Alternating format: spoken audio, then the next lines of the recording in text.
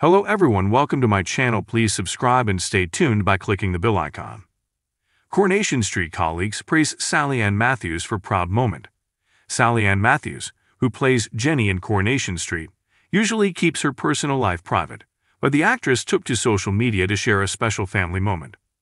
The actor shared a photograph of her son, Lewis, in a graduation gown outside the University of Manchester.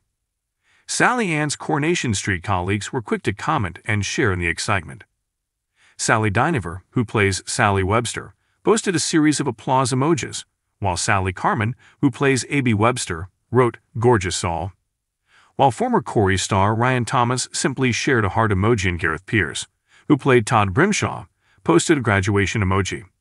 Fans of the ITV show were also quick to comment on the photograph, with one joking, I read that as though your son was called Claxon, alongside laughing emojis.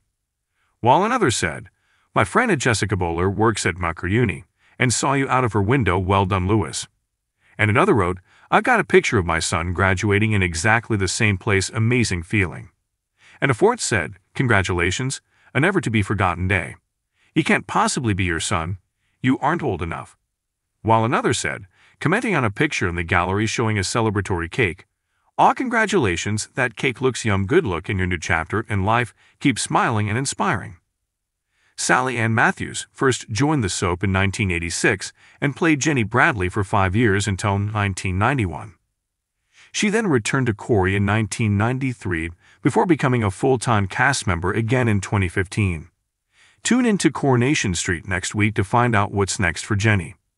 If you like the video, don't forget to like, comment, and share.